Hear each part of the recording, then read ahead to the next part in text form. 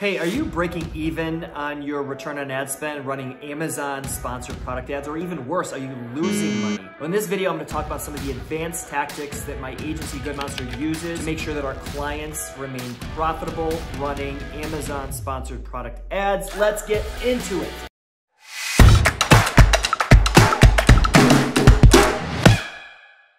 Hey everyone, I'm John Timmerman. I cover the world's most exciting brands and marketing trends to make sure you and I can both grow our businesses faster. Today we're talking about Amazon sponsored product ads and how to make sure that you're not losing money, you can keep your ACOS down, and at the end of the day, you're profitable. So one of the first things I wanna talk about and the strategies that I wanna talk about is sort of a basic one if you are you know, deep into PPC whether on Amazon or on Google or other platforms as well. And that is negative keywords.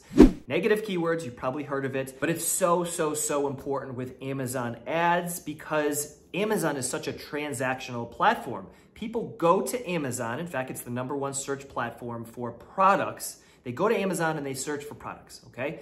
And a lot of times they know what they want. They know they're looking for a specific thing, so they search it and then they go through and they want to see which ones has the highest reviews, which one's the good price for me, uh, you know, which one looks like it's a good fit, but it's highly transactional. And so using negative keywords is important to make sure that your ads don't show up for search terms that are not highly transactional. So if you don't know what a negative keyword is, it's basically uh, you target keywords that you want to show up for and you, you list negative keywords for things that you don't want your ad to show up for okay?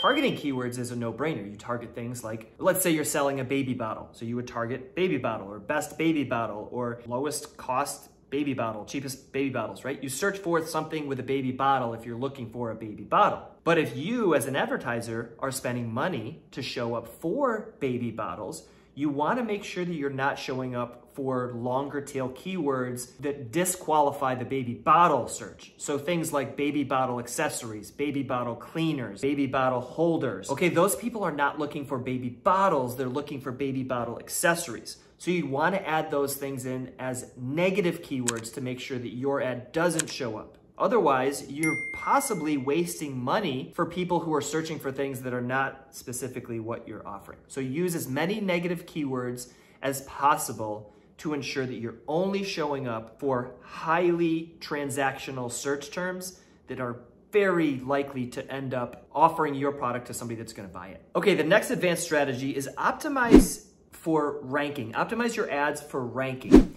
So if you've been in Amazon, you know that the A9 algorithm, Amazon's algorithm, looks for sales as one of the most important ranking factors. Organic, right? So Amazon SEO. Unlike other platforms like Google, Amazon SEO relies on sales. Yes, it relies on keywords and your titles and, and, and your listings. It does. But sales is a big, big, big factor because they figure a lot of people are buying this thing over and over and over again, it must mean it's good. And if there's no complaints and things like that. So you want to optimize your, your ads for sales. So what does this look like? It means being very specific in running your ads again, going back to my previous advanced tactic, for things that will drive sales. So negative keywords, putting in lots of negative keywords, making sure your keywords are optimized for very specific keywords that you're targeting, you know, uh, and being very conservative. So don't throw a bunch of money at your Amazon ads and think that the algorithm is going to make the best use of it. That might be the case on other platforms, but not on Amazon. So be very conservative. If you have to start out spending $50 per day in running ads or even lower, if you have to spend lower than that, you know, $15, $20 per day just to figure out what is driving sales, do it. Be conservative because one, you don't want to waste money. Remember, we're trying to generate an ROI here.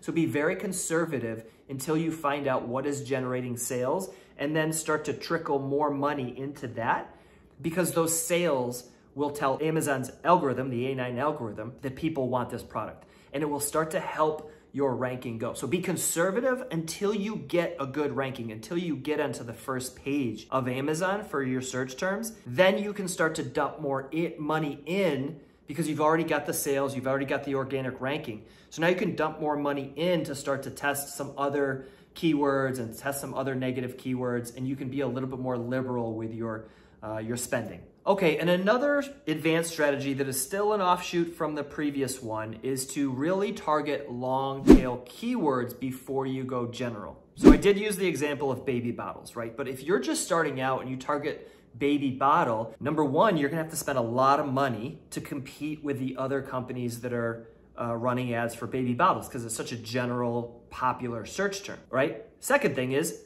some of these other businesses and sellers are already ranking organically. So it's still gonna be hard for you to, to compete for a generic term like baby bottle when there's probably three or four listings that have 10,000 five-star reviews and are naturally gonna get most of the, the clicks and the sales. So instead, start real long tail. Target things like baby bottles for infants under six months or newborn baby bottles or uh, you know baby bottles for babies that have a trouble taking a bottle. I mean, it sounds crazy, but start to think about what people would actually search and use your ad platform to, to see what the keyword volume is for those particular uh, search terms, okay? So go long tail because they're gonna be cheaper and they're gonna be easier for you to actually get sales from because you're not gonna have as much competition from the bigger competitors. So start long tail until you start to get the sales, you start to rank,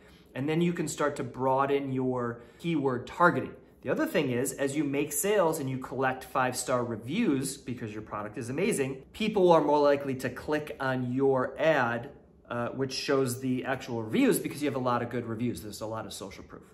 The next advanced strategy is not exactly a PPC strategy, but it's still related and a good strategy, is to group your variations together if possible. So if you've got a green product and a red product, or you've got a large product and a small product, try to group, group them together because you will get a trickle effect. So if you're running ads for a particular variation or a listing and it gets good click through because it's got good five star reviews, the more variations you can group into that listing, the more exposure that you'll get. So if the red item is a top seller, okay, group in green and blue and yellow into those into that listing as possible so that people can see that there are other variations and it might help to boost the sales of all of those variations. And another kind of sub strategy is if you can't group your variations together for whatever reason, um, then at least run ads to your top selling child product listing because you'll get a trickle down effect um, from people clicking on that particular ad, right? So if you run ads to your very specific top selling red item, um, you'll still get the trickle down effect if you have the variations listed on that page as well. Another advanced strategy is to put similarly priced products into the same uh, campaign. Otherwise, your ACOS could be a little bit skewed, right? So if you put a $50 product in with a $5 product, you know, your Amazon cost of sale, which is basically measuring when somebody clicks and makes a purchase, how much did that cost in ad spend? You're gonna get a lot more people, assuming everything else is even, you know, the reviews and everything, they're gonna buy the $5 product because the barrier, the cost barrier is a lot lower. But your ACOS is gonna be skewed because you have a $50 product and you have a $5 product. So try to group your variations together based on price. So five, ten dollars, you know, in there. And a similar strategy is also measure the performance. Okay, so if you are if you have multiple kind of products in the same campaign, one of them has an ACOS that's 50% and one of them has an ACOS that's 20%, okay? It's also gonna be skewed because the performance is so much different, okay? And so the algorithms and the, and the recommendations and your decisions are gonna be sort of all over the map because you have two totally different ACOSs. So instead, separate them out so that you can optimize your ads for the high ACOS separately uh, from optimizing the ads for the low ACOS. So split up your uh, similarly priced products into the same campaigns and split up your similar performing products into the same campaigns so that you can better manage your ACOS and your decisions. Another really cool sneaky uh, advanced strategy is to run ads on your top selling product listings for your lower selling product listings. This is called product targeting ads. So you can actually run an ad that will appear on your listing, okay, for your another product. So if somebody happens to find a red item, your red item, and it's a top seller and it gets really good ranking, you can run an ad on that page that's, that displays some of your other products, okay? And you, the hope is that you attract somebody who's looking at the red one, but they're like, oh, I really want a yellow one. Use product targeting ads to run an ad for your lower, less demand or less performing pro uh, products to try to get some velocity there and run them on your top selling products, which probably already have a good ranking and good visibility. And a little sub strategy here is you could do the same thing for off Amazon campaigns that you're running. So if you're running ads on uh, Google or somewhere else and you're, you're driving them into your products, uh, listings on Amazon, or you have influencers who are recommending your products on Amazon, when they link to a particular product, whatever that product is, run a product targeting ad on that product because you're already getting all this organic or other paid off Amazon traffic to this listing and you can run a product targeting ad on that listing. So you're you're tapping into the visibility of this incoming traffic here and you're trying to increase the sales and velocity of this this other product right? So you're kind of hitting two birds with one stone here. Okay those were just a few of our advanced amazon sponsored product uh, optimization tips I hope you found them valuable. Send them over to your team and hopefully you can get your ACOS down, your return on ad spend up, and really start to drive some revenue from your product targeting ads or your sponsored product ads rather. If you need any more advanced help or you would like any more tips, uh, my agency, Good Monsters, is what we do every day, and I'd love to chat with you about it or have somebody on my team chat with you about it. So if you're having you're really struggling with Amazon ads or you're having trouble competing, just go over to Google and search thegoodmonster.com. There's our website, fill out a little thing, and, uh, and we'd love to jump on a call to see if we're a good fit for you. And you can always just leave a comment or direct message me over on Twitter or something like that. Uh, Johnny Timbo over on Twitter.